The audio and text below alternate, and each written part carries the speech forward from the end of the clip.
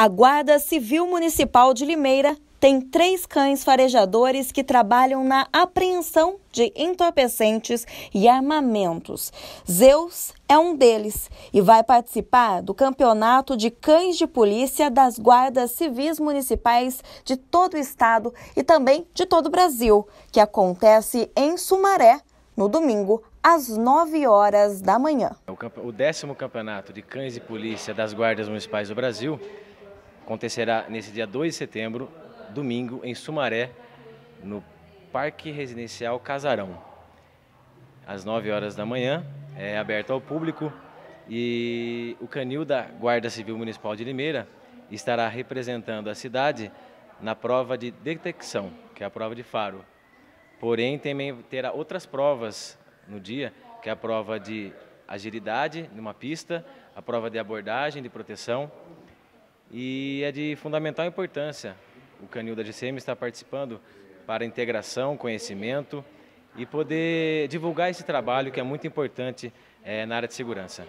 O Zeus ele está atuando desde setembro de 2017. Ele efetua um trabalho de localização de entorpecentes e armamento. E é muito importante para poder é, ele efetuar o trabalho, ele vai atrás de um brinquedo ele associa o trabalho através da localização do brinquedo. Ele associa o odor do entorpecente ou do armamento que ele pensa que é o, o brinquedo na hora, do, da, na hora da ocorrência, no apoio. Então, é, ele, é, tudo é uma brincadeira para o cão, através do sistema olfativo, que supera o sistema olfativo do ser humano. Na manhã desta sexta-feira, a Guarda Civil Municipal de Limeira realizou a apreensão de 85 flaconetes de cocaína em um centro comunitário no Odécio Degan. E isso só foi possível pelo uso de cães farejadores.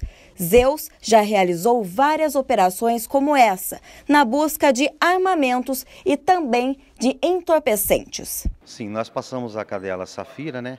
E ela em todo momento ela indicava que ali haveria o possível odor de entorpecente.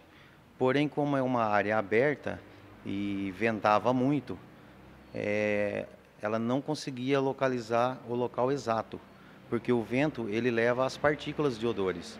Por mínimas que sejam, é, uma partícula de cocaína ou de maconha, o vento faz com que elas se distribuam muito rápido. E e o olfato do ser humano não é capaz de localizar. E o cachorro sim. Porém, ventava muito no local. Ela deu a indicação várias vezes, nós procuramos no chão e nada foi encontrado. E através de informações de que eles estariam também escondendo drogas é, no, nos telhados de residência e em muros, é, no local que a cadela apresentou esse comportamento diferente, nós subimos é, no, no muro? Embaixo da telha do centro comunitário e lá se encontravam as 85 porções aí de cocaína, né, os flaconetes de cocaína.